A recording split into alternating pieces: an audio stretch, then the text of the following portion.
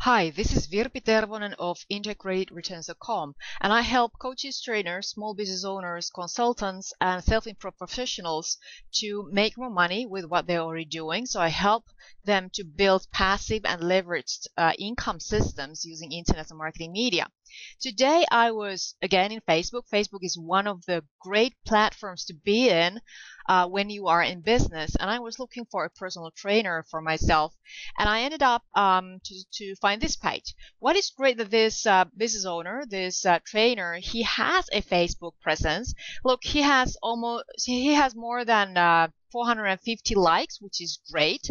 He also has uh, his image. Uh, there's people are responding to his um, wall post and everything, so it looks good that's why initially I was interested because they show there's something happening here.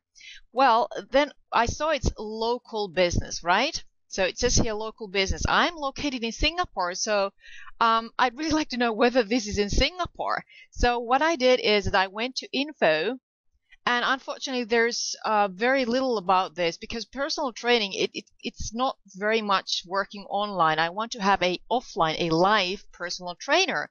And it doesn't say where in the world is he located at. Well, um, then the first thing was, of course, I went to about and I clicked the link here that um, is about more about the business. Unfortunately, the link is not functioning. So when you're in business, you I mean, if you really want to have a proper online presence and you want to be seen as a authority and a credible, trustworthy service provider, please just check your links before you um, make them alive. Uh, well, you make them alive and you test. And um, um, what, what is great, uh, he has a newsletter, newsletter subscription here which is not a default tab. It will be good. Well, nothing seems to come up. Well, you should, if you have something here, make sure that it actually comes up. And it's great to build your database so that you can stay in touch with the people who have raised their hand and say that, yes, I want to know more about what you do. I want to stay in contact.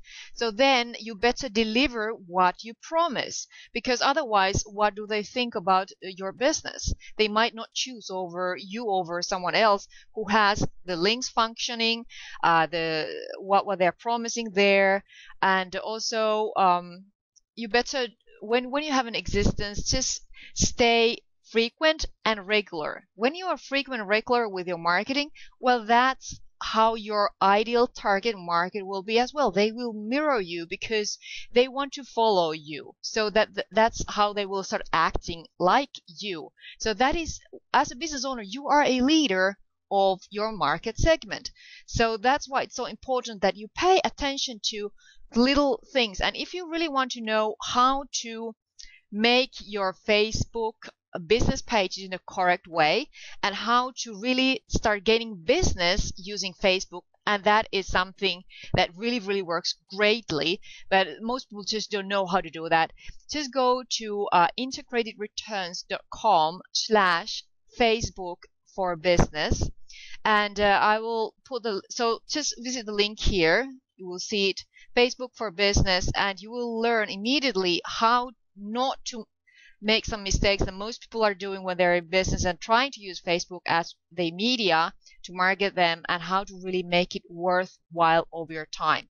So I really hope that you are going now to your Facebook business page, check the links, make sure that people know where you are if you are a local business, and just start being more frequent and regular with what you're doing with Facebook. Because if you have a presence, you maintain it, and that's the way you're going to stay in business and you're going to grow it using the social media platforms which are so so powerful today.